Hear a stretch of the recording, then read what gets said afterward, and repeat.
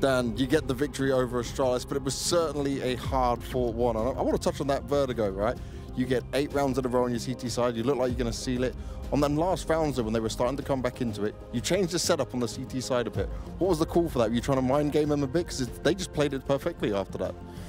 Yeah, yeah. I mean, uh, I don't know. Me maybe overthought the, the round. I don't remember exactly what we did, but I guess we. That's what I remember. But uh, yeah, overall, yeah, that was a that, that, that, that was a pretty tough vertigo. I'm not gonna lie. You do have some close Vertigo games for sure, but did you think that they were maybe going to come in a little bit less prepared on this than, than what they did? Not really, not really. I think they were like uh, how they were supposed to be. We just started so bad on the T side and it didn't help us. We were like 8-1 or 9-1 uh, behind, so it's never easy in that case. It definitely isn't. But you get the win here and you move on forward. How do you feel for the opening game of the season and, and how do you feel with the team synergy right now? Well, the team synergy is good. Uh, we try. Um, everyone wants to do much better than last year because uh, it was a really mm, shit year, to be honest.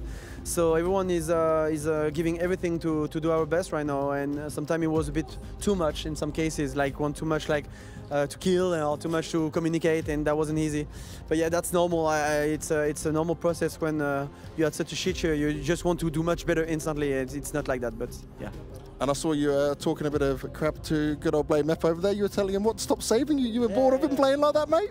Uh, let's be honest, I think uh, he has the, the world record on the Shell TV, saving the more on T-side I've ever seen, man. I think he saved like six times, and it, it's a world record. Uh, congrats to him. It's a world record, congrats to him, but you guys got the win. apEX, thank you very much, man.